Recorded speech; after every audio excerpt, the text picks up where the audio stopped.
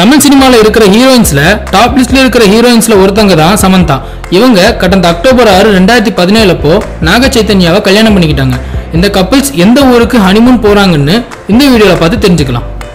சமந்தாவும் நாக சைத்தன்யாவும் பல வருஷமா லவ் பண்ணிட்டு இருக்காங்கன்னு நிறைய ரூமர்ஸை கிளப்பி விட்டாங்க. இந்த ரூமர்ஸ்க்கு இவங்க ரெண்டு பேரும் எதுவும் பதில் சொல்லாம இருந்தாங்க.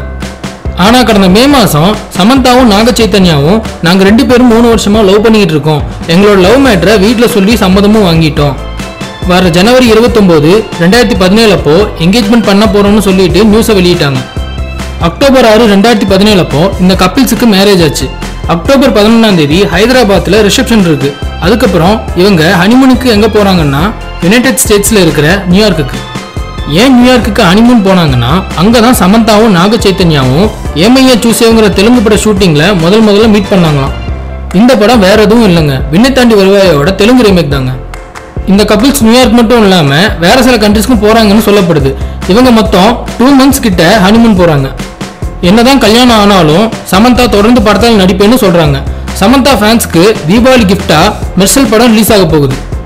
அடுத்த வீடியோ பார்க்கறதுக்கு முன்னாடி கீழே இருக்க சப்ஸ்கிரைப் பட்டனை கிளிக் பண்ணி எங்க ஃபுல் மீல்ஸ் சேனலை மறக்காம சப்ஸ்கிரைப் பண்ணுங்க.